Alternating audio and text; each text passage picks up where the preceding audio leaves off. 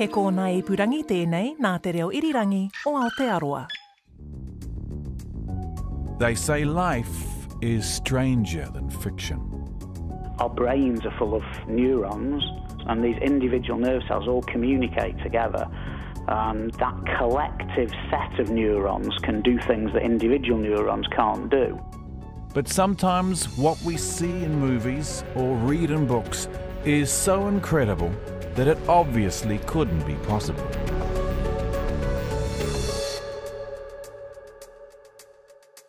Or could it? There have been some very interesting AI things, so things done in software, where people have tried to write computer codes that are capable of improvising. Why do I not like that idea? Hi, I'm Brian Crump, and you're listening to Sci Fi Sci Fact, a podcast where MacDiarmid Institute scientists fact check popular science fiction. In this episode, Professor Bill Williams, MacDiarmid Institute principal investigator and professor in biophysics and soft matter at Massey University, discusses axonite from Doctor Who with Melody Thomas.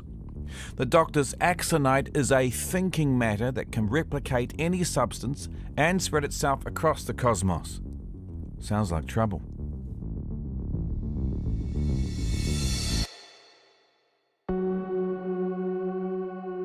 We offer a gift. Axonite. Tremendous advantages for humanity in Axonite. and unlimited power. We must have it. Axonite is bait for human greed. I can't remember this episode because although I was a sort of avid Doctor Who fan when I was a, a kid and kind of grew up on that, I think probably that helped me develop some sort of interest in science. Um, it's quite an old episode, but I think the, the basic idea is that there's a material which essentially um, kind of perpetuates itself and kind of, let's say, uh, sucks all the energy out of the environment in which it finds itself. So it's a, it's a material which can essentially think and replicate, and in doing so, it kind of starts taking over. A little bit like, I guess, a modern day equivalent would be if people have read um, Prey by Michael Crichton or something like that. So. The idea of, of axonite and a material that thinks and has motives and, Yeah. and that kind of thing, are such materials possible? I think probably it's worthwhile to just spend a couple of seconds saying what we mean by thinking because, you know, if I was a philosopher lecturer, we could spend a long time probably debating what we mean by the word thinking. But I tend to think that in um, sort of everyday speak, we tend to use thinking in two separate ways. So one might be just using the word thinking to mean can whatever it is that you're asking, is it thinking, can it perform a computational task? So in other words, you know, can it do two times three equals six? I mean, that's just sort of a simple computation. And you might say, if you wanted to, that things that can do that are thinking. You know, they're able to do some rudimentary mathematics, for example. The other time we tend to use the word thinking is perhaps in a more contemplatory process. So sometimes, you know, we want to think about things where we, you know, consider them, and these processes tend to take longer. And you know, sometimes you might you might try and remember something and you can't remember it, but then an hour later it kind of pops into your mind. So there seem to be, in in my way of thinking about it, just for the discussion, these two different sorts of things. Can things perform computational tasks which are useful to them and help them live, or can things I've forgotten the word you said a minute ago. Well, you, you, these kind of ideas of having more contemplatory things. Clearly, there are materials that fulfil both of these, um, like your brain, for example. So your, you know, biological things are still made out of matter, and they still obey the laws of physics. Um, you know, while several hundred years ago we might have thought that lots of scientists thought that biological systems were somehow innately different from, from ina- inanimate objects, and people talked about them having a life force and these kind of things. Modern biophysics doesn't really have any evidence for that. It believes more that the properties of the biological systems we see, um, while they're, they're super interesting and we want to understand how they emerge, we don't think you kind of have to add anything else, if you understand what I'm saying. So if you understood, you know, the laws, the physical laws that govern matter, within that should be the potential to make something that thinks, because we know our brain can do that, and we don't feel that biological things are over and above physical law. So your brain, as an example, a collection of neurons can definitely do thinking. There are some organisms which also clearly have to carry out computations like optimi- optimization procedures, for example. Jellyfish um, might look around them and decide, you know, am I going to go off in this direction to look for food? Or, you know, what am I going to do if I dry out? Or things like this. There are things that can do those sorts of computation which actually have very few neurons, like a jellyfish. One of the funny things about a jellyfish is it hardly has any neurons. It has maybe a few hundred neurons compared with our billions. Um, or if you go back to a sponge, even, so a, a sea sponge, a sea sponge has no neurons at all. And in fact, a plant. Um, there was some lovely work published a couple of years ago showing that the way in which a plant opens the, you know, plants have kind of pores on the bottom of their leaves, which they open, and it helps with gas transfer, but also um, it dries out the leaf basically, so moisture can get get out when they open these. So plants are all the time kind of deciding how many of my pores should I open and how much should I open them. And it turns out that if you study that process, you can clearly show that it's a computational process in the way we, in the way that we would define it. So that means the plant is doing an optimization procedure using some sort of computation.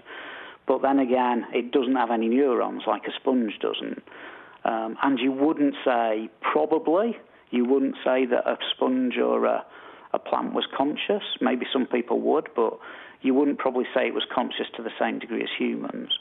I haven't seen the. Uh, I think it's a maybe four parts actually that they yes. explore this, yes. um, and I haven't seen all of it, but I've I have seen some parts of it, and I know that there are axons, which are you know the humanoid kind of form of it. It it, mm. it kind of replicates itself in a bunch of different ways, but is all part of the one larger organism. Is that right?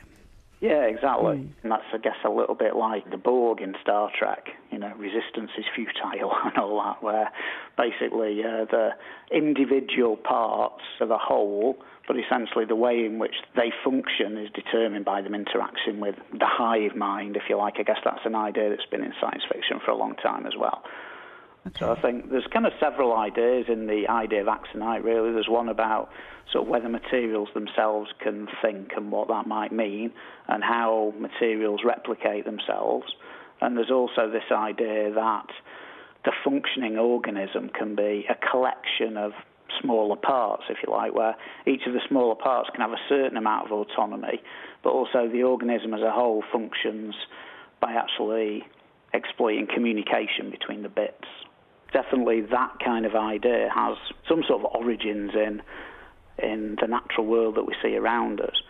I mean, clearly things like bees as well, which I guess where hive mind comes from, you know, and, and ant colonies where different individual ants and bees will have a different role in a collective environment. I mean, you can see just by looking at, you know, humanity that essentially, you know, if you were to say what are the most um, you know, amazing things you think that humanity's done in terms of advancing our understanding of the world and developing medicine and such like. I mean, I'm not saying that in any way, you know, we're a hive mind in the sense of that, but it is it is through collaboration and communication. I mean, we're all individual human beings, but no one human being, you know, really. It's very rare that one human being, you know, makes a massive breakthrough.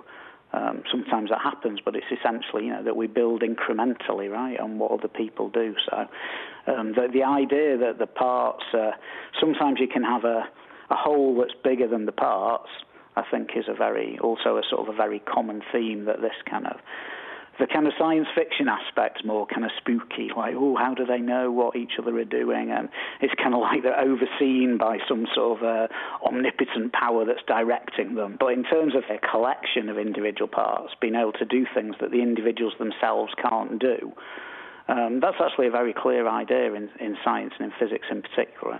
We tend to call these things something particular. We call them emergent properties because they're not properties of the individuals of the group, they're properties of the group itself. Are there other examples of these emergent properties being displayed in humans? In humans, well, I guess one of the most um, uh, debatable ones. So um, I would say this is controversial is probably the wrong word because I think we still know too little about it. But I mean, this this goes to the the heart of another question that we perhaps discuss, which is, you know, what does thinking and computation and such like mean? And uh, some scientists have the idea that our, you know, that our very consciousness, our consciousness is essentially an emergent property. In other words, our brains are full of neurons, which are individual nerve cells, and these individual nerve cells all communicate together. So in the human brain, there's a ridiculous number, like I think it's something between 10 and 100 billion of these cells, and they're all communicating and talking to one another. And that collective set of neurons can do things that individual neurons can't do. And some people would argue even that you know consciousness itself is an emergent property. I wouldn't say that's universally accepted because I think um, there's different ways you can study consciousness, and certainly it's one of those things that is still a bit of a frontier that there's lots and lots of questions about that we still don't understand. You're going to know better than me where this thought is leading, and hopefully you can just take it and run with it. But I guess I, I keep thinking you know, if we're looking at carrying out a computation versus consciousness or thinking, yeah, something that comes to mind is improvisation. Yeah. So looking at uh, you know routes and maybe choosing this as the best one. Say something jumps up that gets in the way and means you have to change your mind. Like, is is that a difference between consciousness and computation? Is the ability to improvise and do something new? that's that's a fantastic question. And um, I mean, I'm not an expert on that either. I can tell you what I think, but I could be completely wrong. So I definitely think that those kind of creative processes, let's call them. So, you know, when you have an idea, for example, or as you said, when you um, improvise to something, you would tend to think that that's a different thing than simply performing a computation. Um, there have been some very interesting kind of AI things, so things done in software, where people have tried to write computer codes that are capable of improvising. So, for example, there are um, kind of computer codes people have written that try and compose music or produce art and things like that. The creative process could be something you know, quite different from a sort of an optimization computation. It might be a very different sort of thing going on. But I think there's still reasonably good evidence to suggest that you, you could still capture that in a in let's say an artificial substrate that wasn't a biological one. Why do I not like that idea? I think you don't like that idea because we think that as humans, there's something about being creative that's very satisfying, and you do feel something which is. Um, I don't want to use very emotive words, but you, you, know, when you do something creative, you kind of feel that's special to you, and it's connected with your consciousness. And I think you don't like the idea that there could be something that wasn't um, that wasn't human. I mean, you might be even upset if we, you know, if you were to show that lower animals could do it to some extent. I mean, as humans, we want to say what's different about us. You know, why are we king of the king of the jungle kind of thing? And I think that's, you know, we kind we tend to think it's to do with that. It's to do with our consciousness and the ability to abstract problems and things like that. That's why it's perfect for science fiction, right? People are unnerved by the fact that potentially there could be other materials which could eventually perhaps manifest some properties um, that we think are special to us. So if you look at one of my favourite films ever, Blade Runner, right? So Blade Runner is a movie all about what what makes us different being humans, and if you could make an android that was like a human, then you know what rights does it have, and how should I view the android versus how I view myself? So don't get me wrong here. We're a long, long, long way away from making anything that does that kind of computation. What we can do now is we can look at materials which can do that set of tasks which are essentially just what we call computational tasks. So we could think of building devices, for example, that are very good at pattern recognition, and you know you might kind of um, put this device in front of a cat and maybe it turns red, and if you put it in front of a dog, it turns blue. So that's clearly a computational task. It's recognizing a pattern and responding according to that pattern. But you're perhaps a little bit less scared about that because you sort of feel that's a very sort of clockwork computation and you, you don't mind that mechanical systems can do that. It's at this point that your notes to me start getting more unrecognizable to me. So you're going to have to lead me through and lead the listener through a little bit. You yep. you mentioned self-replicating materials. Can you tell me a little more about what you mean about that and in this context? Sure. So I think the first thing we really talked about the idea of um, materials thinking, and what we tried to do is examine a little bit the different ways in which you can. Uh, you know what thinking might mean, and what I tried to say is that some classes of that thinking, those computations, optimization um, devices which we find all over in nature, there's no reason to suggest that they definitely need neurons. Neurons is a great system to study but we can build artificial systems that do that. And there's people in MacDiarmid Institute looking at these materials which try and compute a little bit more like the brain does. So these are called neuromorphic materials. So there's investigators like Simon Brown down at Canterbury and some great stuff looking at how you might make a system which is very, very different from a neuron. Um, it's actually a system of small conducting particles. But nevertheless, that he can get that system to show some behaviors that are similar to some behaviors that neurons show. And those systems might be used to do these things like pattern recognition in a very different way than how we do computations now.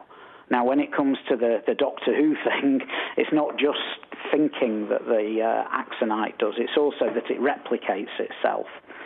And to some extent, you can tell my, my kind of bent really is uh, as a physicist interested in biology is to kind of look at biology and go, well, you know, we replicate ourselves, right? So essentially, any whichever you know whether you, whichever branch of the tree of life you're in, um, you know whether you're a bacteria or you know a fungi or a, a human or a plant, part of our existence in the planet we inhabit is that we replicate ourselves.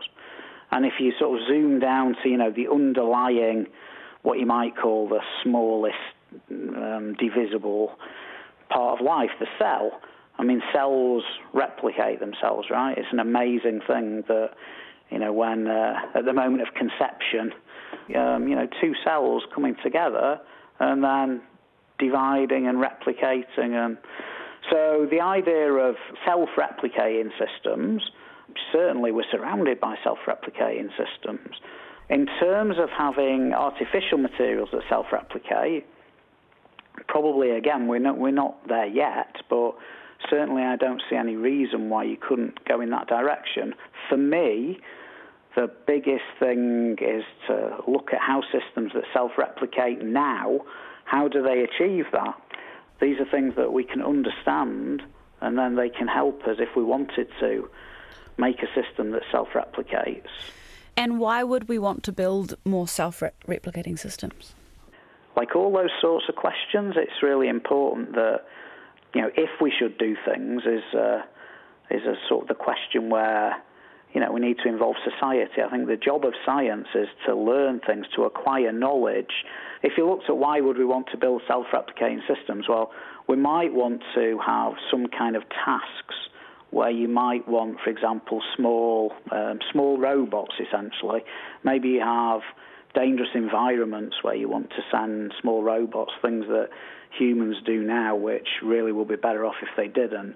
Or you might want to go and explore space or something and send robots out there. And you kind of want a way that the agents you send out there, you want them to be able to take care of their own body, but also potentially to replicate for the same reason that we do, because things break. And mm. so you kind of want there to be some sort of redundancy. And because you've mentioned small robots and self replicating, yeah. one last thing that I want to touch on was mentioned in your notes, and I'm curious to know where we're taking it, which was yeah. robot swarms, which again sounds slightly unnerving. Yeah, maybe. Please do maybe. reassure me. It's funny, isn't it, how swarm has become a word which has these like nasty connotation. You know, if we talked about the collective behaviour of birds as a flock and the collective behaviour of fish as a school, the collective behaviour of some insects a swarm, but somehow because I guess it's because some of the insects that swarm uh, you know, got stings. Will hurt you. Yeah. so swarms sort of. Uh, so you're right. We, we should probably not call them robot swarms. A flock of robots. yeah, yeah, exactly. a gentle uh, so school Exactly. the idea is that, um, particularly if you are um, looking at miniaturizing things. Often, when you miniaturize things, kind of back to what I was saying before, actually, just that groups of things can often do something more efficiently than one thing kind of micro robots that perhaps aren't common now, but if we could understand how a group of them could be coordinated together. Mm. It's just the fact that you know they'd be able to do more useful tasks essentially. I think I read an example of a small a robot that was sent to land on a, a comet or a meteor and failed to yeah. land, whereas maybe five, if five of them had been sent, five smaller ones, not only was there a greater chance of more landing, but you'd have data from different sites on that. Yeah, hmm. exactly, exactly. One of the super fascinating things that I think's happened in science over the last number of decades is that we have more and more measurement tools and more and more manufacturing tools to be actually doing things in the micro stroke nano world. So obviously nanotechnology is kind of a big buzzword. And, and really it's just talking about, you know, us being able to measure things and design processes that happen on much, much smaller scales than we've been able to do traditionally. And I think having, you know, when you go down to those sorts of small elements, it really is just sort of, um, you know, many hands make light work, right? It's that if you want to do something at these scales, having coordinated motions of smaller things is a is a much more efficient way to go. And also, my own little take on this is with been into biomimetics. The amazing thing about biology is it's still, you know, the brain, our brain is purely, you know, a biological construct. And it, just look at what it can do. I mean, look at your, how that can compute. Look at how your retina can detect light. Look at how your DNA can store information. All these things are done amazingly well, and at the moment, still better than any man made devices we've come up with. And yet, what are they made from? They're made from totally sustainable materials, right? They're basically made from the things around us in the environment. And at the end of their lifespan, you know, we get degraded by other things in our environment and go back and get recycled. So to me, the idea of moving towards having devices which can still give us that kind of, you know, high tech medicine. It can still give us that scientifically informed world that's useful for humanity. But at the same time, if we can take a kind of a hint from the biomimetic stuff, we can do it in a way, I believe, which is going to be much, much more sustainable and is much more in tune with the planet. So, as a way of finishing regarding the scientific feasibility of a material like axonite, a, a mm-hmm. thinking and self replicating material, I guess your answer is absolutely possible, but we're not there yet, yet there. There are existing biological systems which you could say, from that sort of conceptual map, do that. The question is, you know, should we construct some, perhaps out of some material you're not expecting, you know, like sort of we built something out, you know, silicon and, do you know what I mean? So the mm. question is, you know, could we... Can we and should we? be making yeah, these. Yeah, exactly. Mm. But at the end of the day, you've got to realise, you know, I mean, biology, I mean, things are constantly changing in biology, as you see. I mean, coronavirus, right? So that's, you could be scared about the possibility of things, but I don't think you should be any more scared than you should be anyway. Thanks for listening to this episode of Sci Fi Sci Fact, produced by Andrew Robertson, and of course, made possible thanks to the incredible knowledge of those brilliant scientists at the MacDiarmid Institute. You can find more episodes of Sci Fi Sci Fact on the RNZ podcast page. RNZ podcasts are also available on Apple Podcasts, Google Podcasts, Spotify, iHeartRadio, or pretty much wherever you might find your podcasts. And make sure to follow us so you don't miss out on any new episodes.